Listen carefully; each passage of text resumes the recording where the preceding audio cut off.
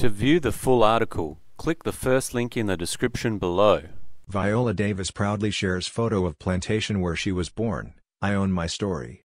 To view the full article, click the first link in the description below.